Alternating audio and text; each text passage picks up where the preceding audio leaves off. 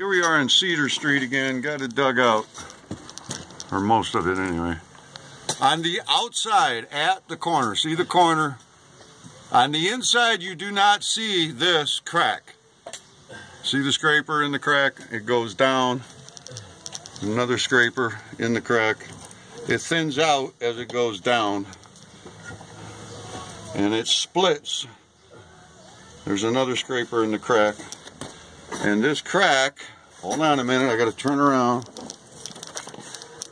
This crack turns into a horizontal crack. And that crack will continue to run that way where Ty's standing. So, good idea. Uh, we're doing a little more footage here.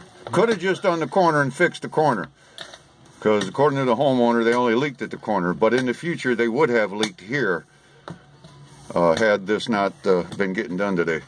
So that's so none of these cracks appear on the inside. Okay, none of, none of these cracks appear on the inside. Then you also have like divots like that where water can get in, further deteriorate that. Yep. So that's where the water enters, goes into the hollow blocks, the cores, drops through the lower blocks and comes out in the basement uh, at the bottom of the wall, where the bottom of the wall and the floor meet.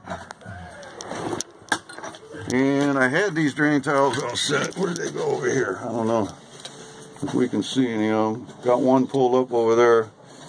That's about all I can show you from this uh, angle. Okay, bye-bye now.